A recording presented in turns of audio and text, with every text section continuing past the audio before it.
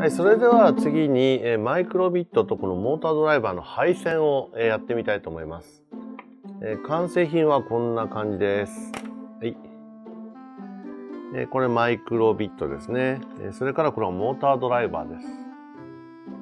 これを、え配線しています。で、まずこれモータードライバーを袋から出して、それから輪ゴム2つ、それからこれ配線ですね。それからこのマイクロビットソケット。はい、これです。はい、とマイクロビットでこう挿しておきますか。ですからドライバーです。で、これ前回ここまで作ったわけなんですけど、まず最初にこの輪ゴム、輪ゴムをまず1本ここ通して、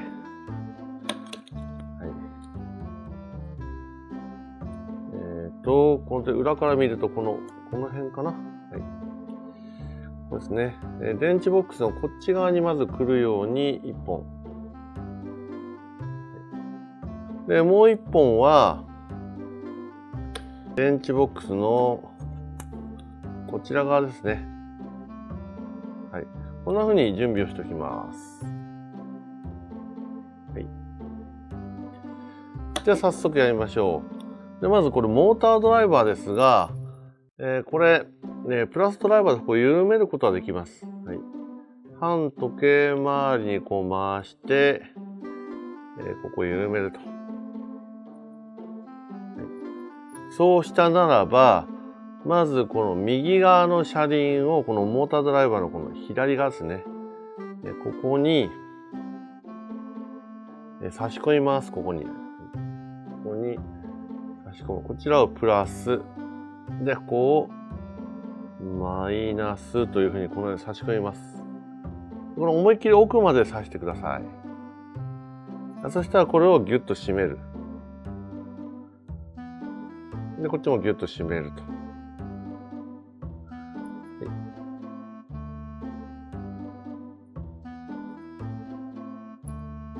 はい、はい。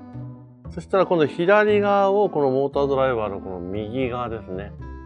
こちらに刺します。で、この今度はプラスが、これ内、プラスが内側ですね。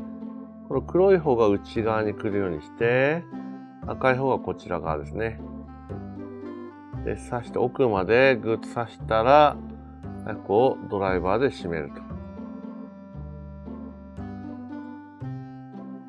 はい。ちょうどこれクロスになる感じですね。え右側の配線が、モーターの配線が左側、左側が右側に来るようになります。はい、えっ、ー、と、ここはこんな風になります。で、次に、えー、そしたらこの輪ゴムのところにこう止めときますね。はい。止めます。配線もちょっと下に引っ張ろうかな、これ。張ろうかな。はい。こんな感じで。いい感じにね、長さをこう、えー、整えます。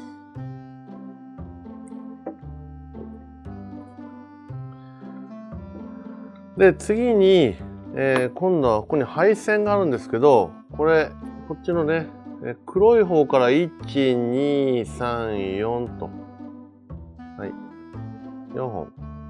これ4本をこう裂きます。4つこう裂きます。ですと、こっちは端っこは青ですね。こっちがなんか茶色っぽい色かな。こんな感じになります。でこれ2つ分けて、これ後で使うので、えー、大切に取っておきましょう。はい、そしたらば、これ刺し方なんですけど、刺し方ね。え、まず、この青と緑、青と緑、これをこちら側に交差させます。こんな感じです。そして左から黄色、オレンジ、赤、えー、茶色見たくなります。で、青、緑と。はい。で、これをそのままここに刺してあげます。ここにね。と、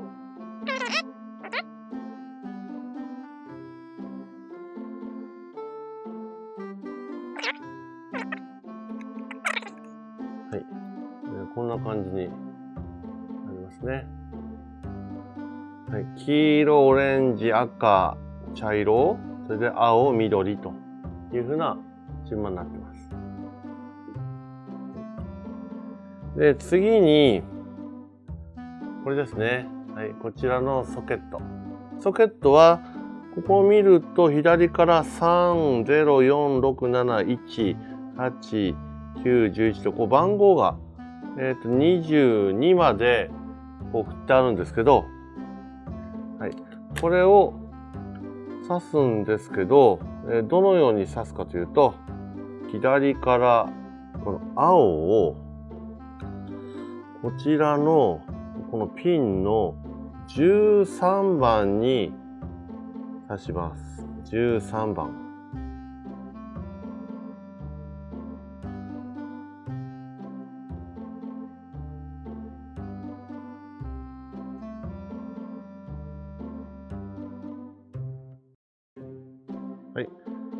で、順番に14番を緑。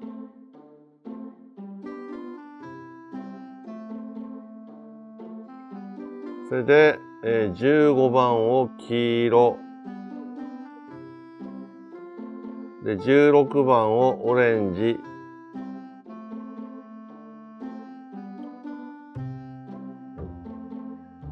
それで、赤を17番。17番。はい、こうなります。で、最後、この茶色っぽいやつですね。この茶色を、飛ばしてこれ21番。これ左から3番目のピンですね。はい。こんな風に刺します。こんな感じですね。はい。こんな感じです。えー、13、14、15、16、17。それで、最後21番。で、これできたら、ここに輪ゴムで、こういう風に固定してあげます。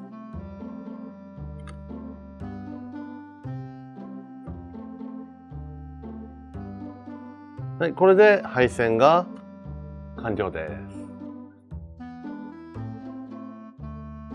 はい、そして、えこれ電池を、電池ね。電池を、えここに入れてあげる。輪ゴム挟まないようにね、気をつけて。それで今、え、ここが点滅すればうまく通電してるということになります。はい、確認してください。